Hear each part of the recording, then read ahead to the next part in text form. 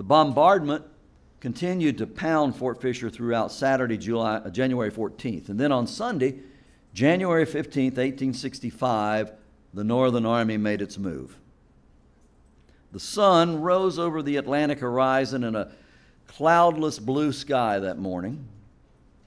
In the woods north of Fort Fisher, the federal frontline troops were in position waiting for orders to assault the great fort.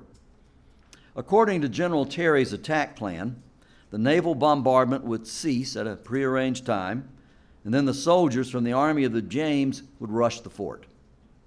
The troops would make the assault in three brigades, one after another, aiming for the extreme western flank of the fort's land face overlooking the Cape Fear River.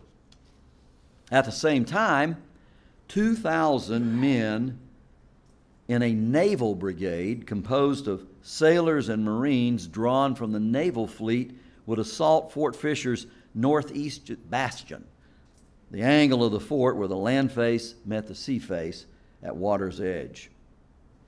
The naval brigade force, which was Admiral Porter's idea, was composed entirely of volunteers, and they faced a deadly challenge.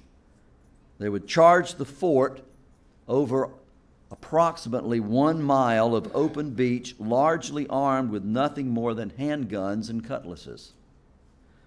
At 3:35 that afternoon, the fleet ceased fire, and the warships blew their steam whistles, which was the call for the assault to begin.